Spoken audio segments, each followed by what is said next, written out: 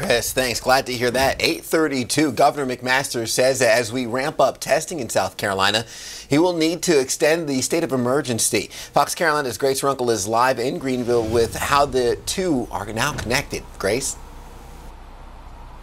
Well, Ted, as you know, we've been under a state of emergency here in South Carolina for two months already. We're looking at least another two weeks of it, though. That's because Governor McMaster says right now is the time to really ramp up testing. So he's giving some public health officials like those at DHEC and those here at the Greenville County Public Health Department some extra time and resources to do that. That's the main point of his latest order in extending the state of emergency. He says isolating cases will be key as the state begins to reopen. The order, though, also provides safeguards for at risk groups. 911 operators will now ask callers if anyone in the house has COVID 19 before sending out first responders. That way, they can take the proper precautions. And nursing homes will still only allow visitors for end of life situations to try to minimize the amount of contact that those residents are having with people who might have COVID 19.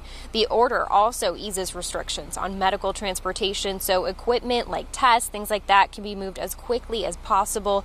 They're going to allow officials to waive some of the requirements for registrations, permits, and size. The state will again be under this new state of emergency or this extended state of emergency for at least another 15 days. But as we've seen day to day during this entire pandemic, things can change very quickly. So, of course, the officials are going to be monitoring this situation and we'll bring you any updates as soon as we get them. Back to you.